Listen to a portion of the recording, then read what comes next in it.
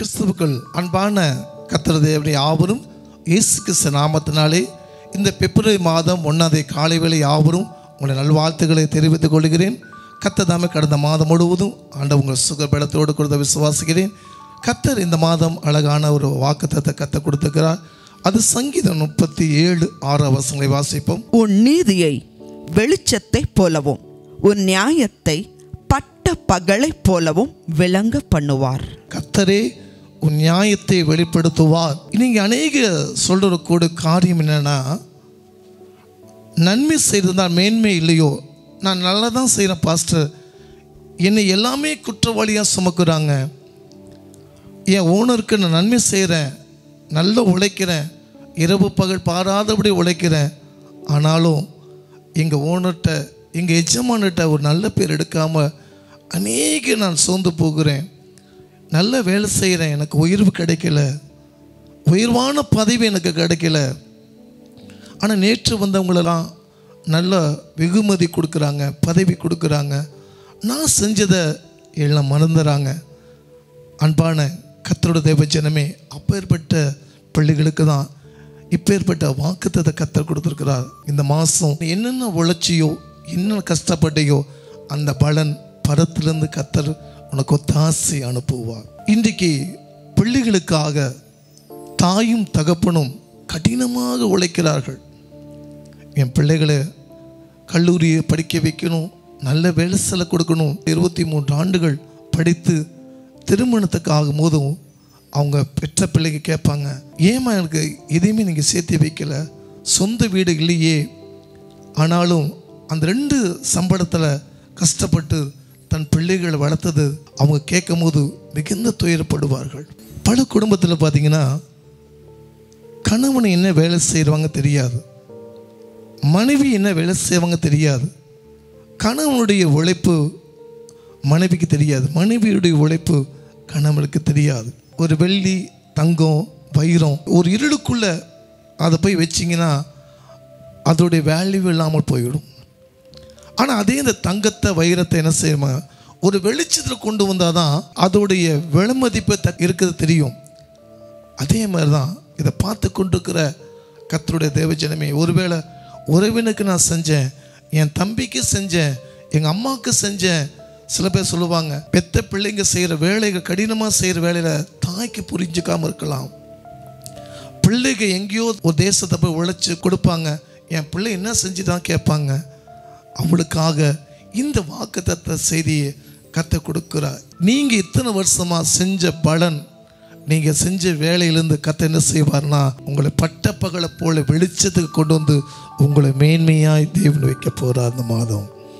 நிச்சயமாக நன்மை செய்திருந்தால் மேன்மை இல்லையோ பரிசுத்த வேதாகமத்தில் அப்பேற்பட்ட ஒரு சமூகத்தை நம்ம பார்க்க போகிறோம் நூற்றி இருபத்தேழு நாடுகளை அரசாண்ட அகஸ்வ ராஜா சிறந்த ஒரு ராஜாவாக பணியாற்றி வரும்போது ராஜாவுக்கு காவலாக ரெண்டு காவல்காரர்கள் இருந்தார்கள். இந்த ராஜாவை எப்படியோ அதை கொன்றுபட வேண்டும் என்று சொல்லி அநேக தீர்மானத்தை எடுத்தார்கள். ஆனால் அதிலே பணியாற்றி கொண்டிருக்கிற முருதகாய் என்ற ஒரு மனிதனை அந்த ராஜாட்ட போய் அவர் சொன்ன ராஜாவே உங்களை கொல்லும்படியாக அந்த ரெண்டு காவல்காரர்களும் உங்களை கொலை செய்யும்படியாக திட்டம் தீட்டிருக்காங்கன்னு சொல்லி அதுக்கப்புறம் ராஜா அந்த ரெண்டு பணியாட்களையும் விலகி திரும்பி என்ன செய்தார்? காப்பாற்றப்பட்டார் சில நாட்கள் ஆனது இன்னொரு நபரை ராஜாக்கு பணிவிடை செய்யும்படியாக ஆமோன் என்ற ஒரு மனிதனை ராஜா காவல் காக்கும்படியாக வைத்திருந்தார்கள். முருகா என்ன செய்தான்னா இவர் கனப்படுத்த மாட்டார். ஆகினாலே இந்த ஆமோனுக்கும் இவருக்கும் சில பகை வரும்போது இந்த முருகதாய எப்படியாவது கொன்றுவிட வேண்டும் சொல்லி தீர்மானத்தில் எடுத்தார். அன்பான கத்திர தேவச்சனமே இந்த பூமியில் நன்மை செய்தால் உலக மனுஷரிடத்தது அந்த பேர் புகழ் வராது. நிச்சயமாக நீங்கள் செஞ்ச உதவி அவங்க மறக்கலாம். ஆனாலும் கத்தர் ஒருபோதும் அவர் மறவாத தேவன் எஸ்தர் ஆறாம் அதிகாரம் ரெண்டாம் வசனம் வாசிங்க. அப்பொழுது வாசற் காவலாளரில். ராஜாவின் இரண்டு பிரதானிகளாகிய பிக்தானாவும் தேரேசும் ராஜாவாகிய அகாஸ்வேருவின் மேல் கை போட பார்த்த செய்தியை மொர்தெகாய் அறிவித்தான் என்று எழுதியிருக்கிறது வாசிக்கப்பட்டது. அப்பொழுது ராஜா இதற்காக மொர்தெகாய்க்கு கனமும் மேன்மையும் செய்யப்பட்டதா என்று கேட்டான். அதற்கு ராஜாவை சேவிக்கிற ஊழியக்காரர் அவனுக்கு ஒன்றும் செய்யப்படவில்லை என்று சொன்னார்கள். இந்த ராஜாக்கு அப்பதான் தெரியுது இந்த மனிதன் மூலமாக தான் நான் காப்பாற்றப்பட்டேன். ஆனாலும் இந்த வெகுமதியோ அவரை கனப்படுத்தவோ நான் செய்யலையே. இந்த மகன் இல்லைன்னா நான் மறித்து போயிருப்பேன் சொல்லி அந்த அரண்மனையுடைய ஆட்களில் போய் கேட்குறாங்க இவருக்கு நான் கனப்படுத்தணும்னா என்று சொல்லும்போது ராஜா இல்லை ராஜா நீங்கள் மறந்து போயிட்டீங்க ராஜா. உடனே என்ன செய்கிறாருன்னா இதுக்கு இன்சார்ஜ் யானா ஆமான் என்ற ஒரு மனிதன் இருந்தான். அந்த மகனுக்கும் இவருக்கு பார்த்தீங்கன்னா கனப்படுத்துதல அநேக பிரச்சனை வந்து கொண்டு வருது.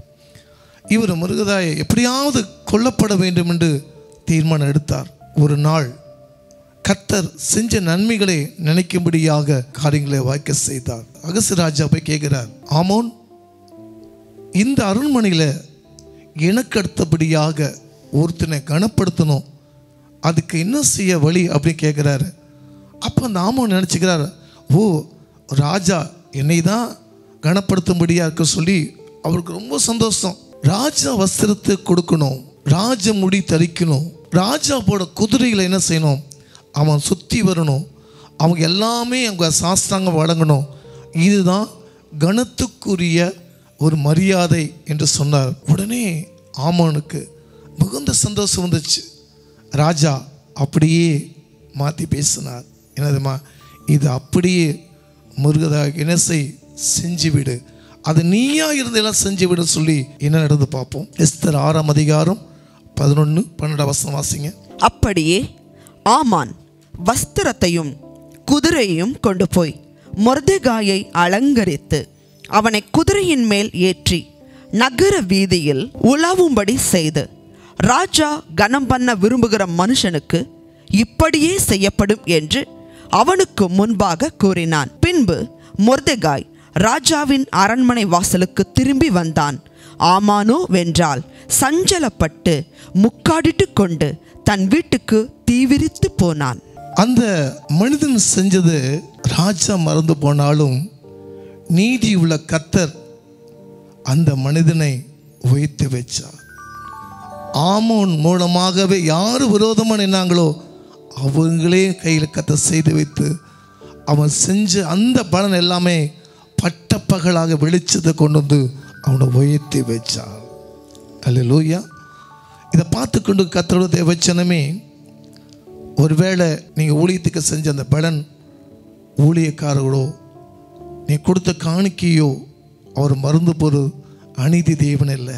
ஆண்டவர் எப்படி அந்த அகசிய ராஜா இடத்துல அந்த மகனை உயர்த்தி வச்சாரோ அதே போல தான் இந்த மாதம் உங்களை நீங்கள் செஞ்ச எல்லா வேலைகளுக்கும் கத்தரே உன் நியாயத்தை வெளிப்படுத்தி இந்த மாதம் உன்னை மேன்மையான இடங்களை கற்றுக்கொண்டு வைப்பார். அப்போ நிச்சயமாகவே நன்மை செய்திருந்தால் மேன்மை இல்லையோ என்று கேட்குறீங்க. நிச்சயமாக மனுஷர் உன்னை மறந்து போகலாம். கத்தர் ஒருபோதும் உன்னை மறவாத தேவனாக இருந்து வேறு கொஞ்சத்தில் உண்மையாக இரு. அநேகத்துக்கு நான் அதிபதியான ஆக்குவேன் ஆண்டவர் சொல்லுகிறார். அந்த கொஞ்சத்தில் உண்மையாக நீங்கள் வேலை செஞ்சுருக்கலாம். இன்றைக்கி நான் சொல்கிறேன் நீங்கள் எங்கே பணியாற்றிங்களோ உங்களுக்கு கத்தர் உயர்வு கொடுப்பா சம்பளத்தை உயர்வு கொடுப்பா அந்த எஜமான்ற தேவன் தயவு கொடுப்பா.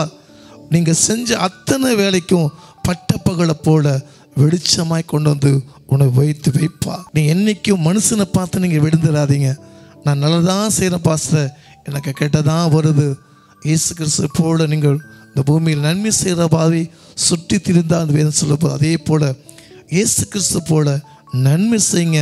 மனுஷன் செய்வாங்களோ இல்லையோ இந்த மாதம் பிப்ரவரி மாதம் கத்தரே நீ செஞ்ச பலனை பட்ட பகலை போல வெளிச்சமாய் உன் இருளை வெளிச்சமாய் மாற்றி கத்த கொடுத்து உன்னை மேன்மையாக வைப்பார். கண்களை மூடி நம்ம ஜெபிப்போம். அன்பி பலோதி பிதாவே இந்த பிப்ரவரி மாதத்தினுடைய இந்த முதல் தேதியிலே இந்த காலை வேளையிலே எனக்கு ஒரு ஆசீர்வாதம் வருமா?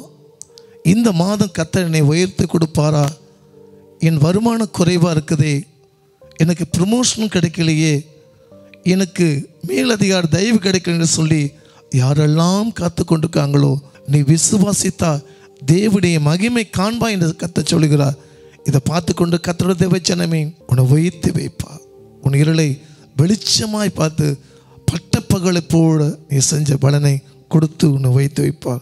கத்தரை உன் நியாயத்தை வெளிப்படுத்துவா. இந்த வாக்கு தத்துவமுடியாக என் பிள்ளைகளை வாழ்த்துகிறேன் ஆசிர்வதிக்கிறேன். இயேசுவின் என்ப நாமத்தினால பிதாவே ஆமே உலகம் உங்களை மறந்தாலும் கத்தர் ஒருபோது மறவாத தெய்வன் கத்தரை உன் நியாயத்தை வெளிப்படுத்தி பட்டப்பகலை போல உன்னை உயர்த்தி வைப்பார். கத்ததாமே உங்களை ஆசிர்வதிப்பதாக. காட் பிளஸ் யூ ஆமீன்